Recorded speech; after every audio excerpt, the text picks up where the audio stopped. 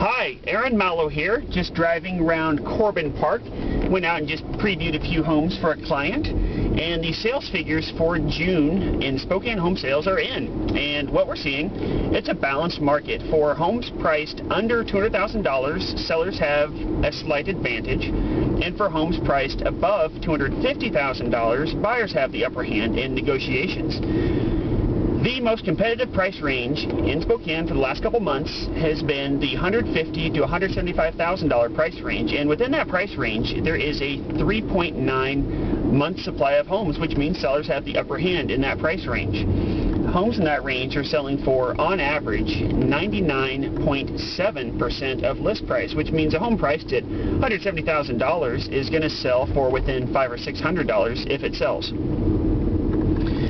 looking at the broader picture, looking at the center of the market, 61% of homes in June sold between 125,000 and 250,000. So within that broader price range, there is a 4.9 month supply of homes and they're selling for 98.8% of list price. So we're in a balanced market. Buyers have choices, and sellers that price right and condition properly will get their home sold.